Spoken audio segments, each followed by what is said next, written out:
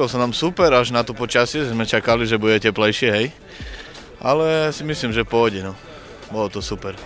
Krizovky neboli žiadne si myslím a akurát, že sme dobehli dosť veľa aut, asi 4 v tomto poslednom kole. No a treba to obehnúť, takže tam sme stratili dosť veľa času, no ale tak na MRC nám to stačilo, ale na ringu to bolo až druhé miesto. Spokojný, spokojný samozrejme. Hlavne, že auto vydržalo, sme sa zabavili, takže pôjde.